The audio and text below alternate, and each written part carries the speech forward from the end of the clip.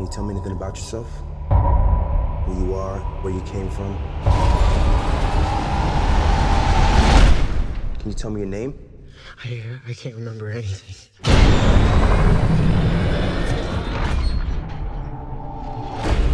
Day one, Greeny. Rise and shine.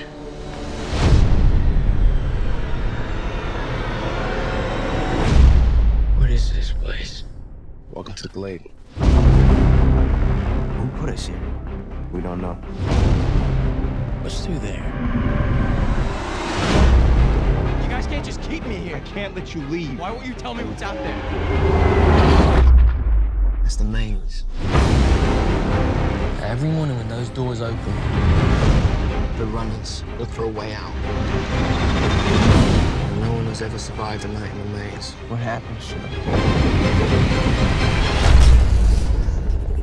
We call them grievers. We don't belong here. Somebody built the maze. I think it's time we find out what we're really up against. You're not like the others. You're curious. What the hell is that? This is the first real clue you found.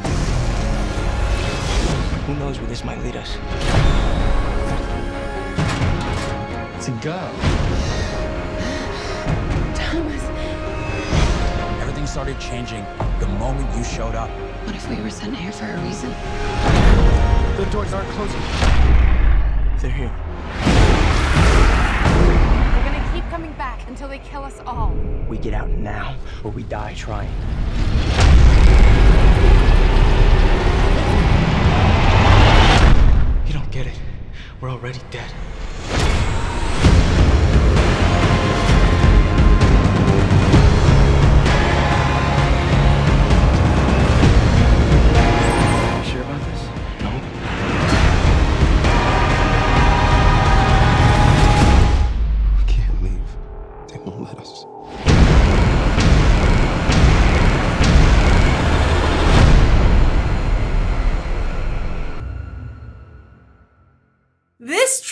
Review is dedicated to Barbie Minaj, who was so patient yet also persistent in getting me to review the second trailer for The Maze Runner. So, Barbie, this is for you.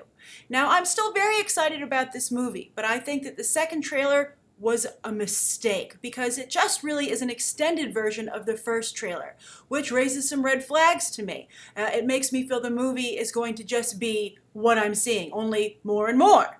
Now, of course, obviously, it just takes place in a single location, this maze, so I guess that should have been obvious. But this second trailer just starts to hit home as to what you're signing on for. So that means in order for this to hold our attention, same location, same problem throughout the entire movie, it has to have a phenomenal story and a, an amazing cast who hand in fantastic performances. Now, obviously, they can't give away too much of the story, uh, and they've already set it up very nicely with the first trailer. So I think the second trailer should have highlighted the cast, maybe uh, character trailers, uh, pointing out each and every character and who we'll get to spend this movie with. And I applaud this movie for its diversity. I'm not familiar with the original uh, book, uh, and I wonder if they had this much diversity in the sor- uh, uh, source material. But I think for a film, it's very unique and it's refreshing, uh, and it looks like everyone's doing great job. They're not playing stereotypical characters. You know, everyone's just a person. So I'm very excited to see that work out, and I'm excited to see the talent they found to fit these roles because they're giving opportunities to actors that usually can't find uh, a lot of opportunity. So you're going to have some new discoveries, which I think is also very exciting. And I think this lead actor from uh, Teen Wolf uh, as I thought from the first trailer, looks very, very, very, very good. Uh, so I'm excited. I'm a little hesitant now, though, because I'm like, wow, I am in for a movie that's just basically a very long version of this trailer.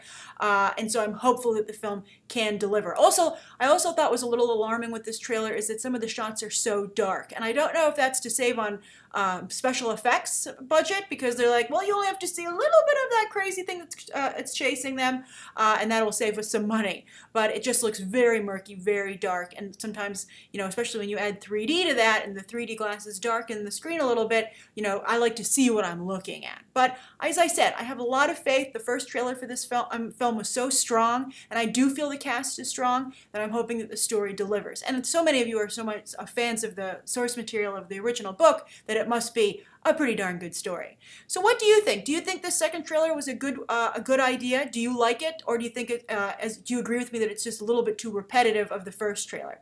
And would you have liked to see it to learn a little bit more about the characters in the second trailer? This film comes out very soon, so I don't know if we're going to ever get that. But uh, regardless, what character are you the most excited for? Those of you who've read the book and those of you who haven't, just from what you're seeing from this trailer. Write your thoughts down below. Thank you again, Barbie, for being so patient yet persistent, and I hope that you enjoyed my review. Thanks, everyone. Bye.